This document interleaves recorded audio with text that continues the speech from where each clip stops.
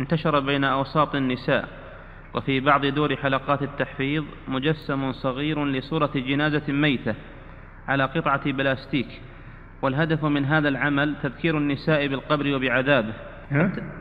قال والهدف من هذا العمل تذكير النساء بالقبر وبعذابه حتى إن بعض هذه المجسمات ربما تثبت على طاولات ليراها الكثير من النساء. السؤال ما حكم هذا العمل؟ هذا تمثال هذا تمثال. والتمثال أشد أنواع التصوير ولا تدخل الملائكة فيه بيتا فيه كلب ولا صورة والتمثال أشد أنواع التصوير. هذا من ناحية. الناحية الثانية أن هذا ليس من عمل أهل العلم ولا من عمل السلف الصالح واللي ما هم تذكرين إلا بهالشيء. هذا الشيطان يزين له هذا الشيء. اللي ما يتذكر بالقرآن والمواعظ ما هم تذكر بقطعة حديدة ولا. الله جل وعلا يقول وذكر فذكر بالقرآن من يخاف وعيد.